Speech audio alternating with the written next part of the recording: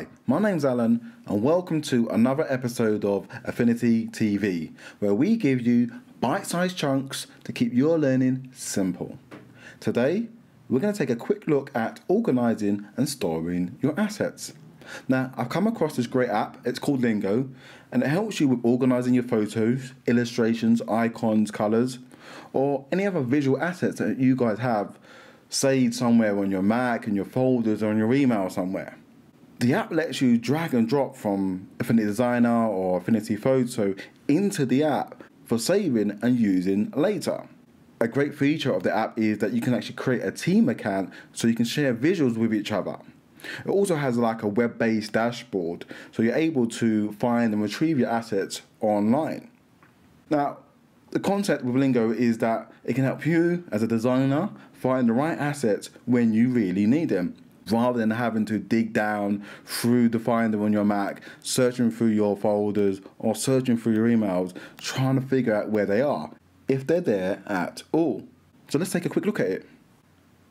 So here's their website. It's called lingoapp.com. There's some great information on there, and they have a really, really cool video. So play it, watch it, and you'll find out some more information about the Lingo application. And if I just scroll down, it shows you how you can add your visuals, and you can sync and share your your assets and also gives you 100 free icons included with inside of the application. Now if I scroll back to the top and click on pricing so you can choose an account for an individual or a team.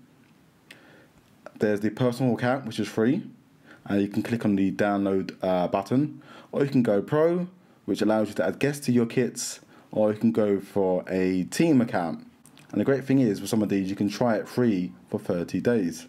And if I just scroll down towards the bottom, there's some FAQs here and some questions about where your assets are stored, what type of files does it support, um, and using the app. So go check it out. So I've already got it installed, so I'm going to switch over to it.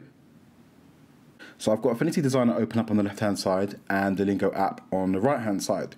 So you get this welcome to Lingo kit included in the app once you have downloaded it.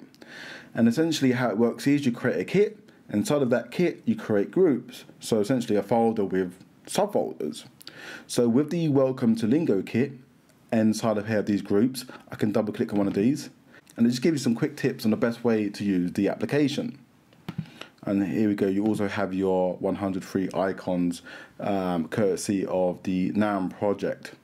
So to get started, up here by my name, I can click on the plus icon to create a new kit and you can type in a name. In my case, I've created the icon set and I get this little circle to the left of it to show you that it's an actual kit. And next to the name of the kit, I can actually click on the second plus icon, which allows me to create a new group. So I click on that and I'm going to type in a name and just press enter. So inside of my kit for the icon set, I've got a solid group and a non-solid. Solid is one of the groups that I worked on earlier. So if I click on non-solid, it allows me now to add visuals. I can either click on the plus icon and locate and find where they are, or straight from Affinity Designer, I can select one of my icons. Let's select this icon here, press Command C to copy, click back inside of the Lingo app and Command V, and then it pastes the icon inside of the group. Now back inside of Affinity Designer, I have a whole set of icons here. What if I wanted to include all of them? Well, I could select them one by one and copy and paste them all. Or I can just come up to my export persona, come down to my layers, let's select all of these separate icons here and we're going to create some slices from them. Let's click create slice, have them selected here and I'm going to choose the uh, I'm going to go for the SVG for web preset and export selected and save them to a folder on my desktop. So then back inside of Lingo I can click on a plus to add them to the group that I want to.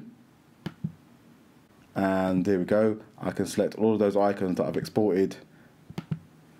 And there we go. And they import and then uploads them to the cloud for me Another thing is, if I double click on one of these, I can add a note, I can also add some information about this asset, I can also add some tags. So in this case, I'm going to delete this tag and add another one and type mail. and I think I've got another one down here somewhere. There we go, double click.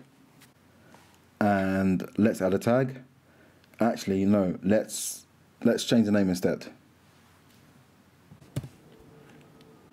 So when I search for it, it then comes up with all of the assets that are tagged or named with the word mail in there. So if I go back to Affinity Designer, and let's say I was working on a project on app design and I wanted to put an email icon in here, I can then select one of these and click and drag back inside of Affinity Designer. And let's put that in place. And let's just change the color so it matches. And let me just make this a bit smaller. So Lingo is a great way for storing and organizing your assets. If I double click on one of these again, I can mark it as a favorite. Or if I have the pro account or the team member account, I can then share this with someone else. I can also click on this icon and archive this or delete permanently if I wanted to. Or just find out some more information about this asset. And another great thing about Lingo is that it automatically generates file type alternatives so you can quickly use your visuals in any application. So earlier on I also created another kit for my stock images. There we go. And inside I've got these different groups for different stock images that I like to use. So if I just come out of full screen mode the moment for this, I actually have another folder on my desktop that I want to add to my stock images. So I can also click and drag this folder on top of the kit stock images. You can see it comes up with the word new group. And let's type in a name. And then again, I can add some notes about the actual group itself if I wanted to. Or just press enter. And there we go. And then it starts to import and upload those assets for me. So anytime I want to go back to it, I can click on the kit and see all the groups, or I can just go to a particular group. Now do bear in mind that when I import these assets or click and drag these assets inside of Lingo, it does make a copy for me. So I could go back to my desktop and then delete this folder if I wanted to. So go check out and download this great little app and visually organize your assets. Thanks for watching and we'll see you soon on another episode of Affinity TV.